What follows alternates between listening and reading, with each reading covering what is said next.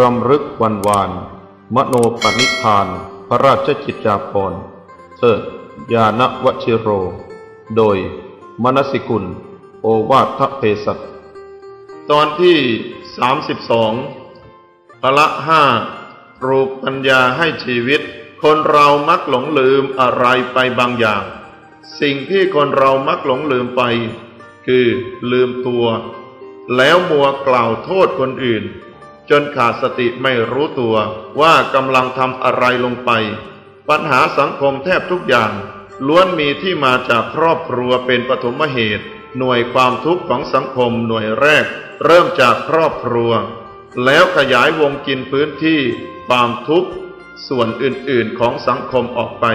หากแก้ไขทุกข์ของครอบครัวได้ ก็แก้ไขทุกข์ของสังคมได้ อะไร คือทุกข์ของครอบครัว ก็คือการขาดการสร้างความอบอุ่น การขาดการสร้างความเมตตาต้องสร้างภูมิคุ้มกันทุกของครอบครัว ด้วยการเตรียมความพร้อมก่อนที่จะเป็นครอบครัว ให้พ่อแม่รู้ความทุกข์ของคนเป็นลูก และรู้ทุกข์ที่ลูกจะสร้างให้พ่อแม่ด้วย ผู้ที่คิดได้ คิดเป็นจะไม่กล่าวโทษ หรือโยนปัญหาไปให้ใคร หน่วยงานไหน หรือองค์กรใด แต่จะเริ่มต้นมุ่งมั่นค้นหาตนเองแสวงหาหนทางที่จะทำให้เกิดความศรัทธาในตัวเอง ด้วยความเพียรอย่างเต็มกำลัง ไม่ว่าทำสิ่งใด ไม่วอกแวก ต่อเสียงปฏิเสธ หรือถ้อยคำต่างๆ ของผู้คนที่จะทำให้ท้อถอย ความจริงแล้ว เสียงของผู้คนไม่เท่ากับเสียงภายใน ที่จะตำหนิตัวเอง เราจะกระจัดเสียงเหล่านี้ได้อย่างไร พระพุทธองค์ทรงทราบว่า มนุษย์เรามีสิ่งที่ประเสริฐอยู่ในตัว คือปัญญา ความคิดและความสามารถ ขอเพียงให้มีสติ สมาธิ ปัญญา ปัญญาก็จะเกิดขึ้น แล้วให้เราปลูกแปลงปัญญา ความคิด ความสามารถให้เป็นเกียรติและความภูมิใจในชีวิตและการทำงาน นั่นคือหนทางแห่งการสร้างศรัทธาในตัวเอง แล้วเราจะเดินบนเส้นทางของตัวเองด้วยความมั่นคงต่อไป จนถึงปลายทางที่มุ่งหวังไว้พระห้าข้อต่อมาคือ สติเป็นเรื่องสืบเนื่องว่า ไม่ว่าเราจะเจอปัญหาสิ่งใดก็ตาม ให้เรามีสติ มีความมั่นคง อย่าวันไหว อย่าคลอนแคลน ให้อาศัยสติความระลึกได้ มองโดยรอบเพื่อที่จะเข้าถึงปัญหา วิเคราะห์ปัญหาให้ชัดเจนว่า ปัญหาเกิดขึ้นตรงไหน อะไรเป็นปัญหา ทุกอยู่ตรงไหน อะไรเป็นทุกข์แล้วค่อยๆปลด ค่อยๆวาง ค่อยๆแยกประเด็น ออกไปทีละส่วน แล้วค่อยๆแก้แม้ปัญหานั้นจะหนัก แม้ปัญหานั้นจะหนักหนาสาหัสอย่างไรก็ตาม หากเรามีสติตั้งมั่น ไม่วันไหวไม่ตื่นตูม เราก็จะสามารถแก้ปัญหาได้ เรียกว่า หากเรามีสติแล้ว ก็จะเป็นส่วนประกอบของพละห้า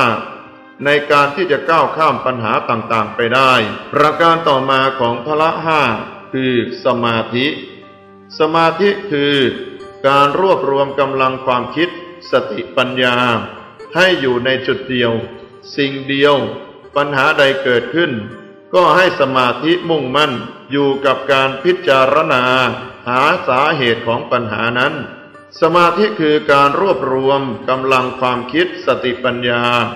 ให้อยู่ในจุดเดียว สิ่งเดียว ปัญหาใดเกิดขึ้น ก็ให้ใช้สมาธิมุ่งมั่น อยู่กับการพิจารณา หาสาเหตุของปัญหานั้น เพื่อให้เราเห็นปัญหาได้อย่างชัดเจน เมื่อเห็นปัญหาชัดเจน แยกแยะส่วนต่างๆออกได้แล้ว โดยไม่ให้สิ่งหนึ่งสิ่งใดก็ตาม เข้ามาเกี่ยวข้อง เพื่อไม่ให้มีปัญหาอื่นทับซ้อนเข้ามาอีก เราก็จะแก้ปัญหาได้ ประการสุดท้าย ปัญญา เป็นสิ่งสำคัญ คือ เป็นส่วนประกอบในการประคับประคองให้เราได้เดินถูกทาง ไม่ว่าจะเป็นศรัทธา วิริยะ สติ สมาธิก็ตาม ก็ต้องอาศัยปัญญาจึงจะช่วยให้สามารถยกระดับจิตให้สูงขึ้น องค์สมเด็จพระสัมมาสัมพุทธเจ้าพระองค์เชื่อมั่นในแนวทางแห่งการปฏิบัติ จนนำมาสู่หลักการปฏิบัติ ที่เรียกว่า อริยมรรคมีองค์แปดและ ถึงที่สุดแล้ว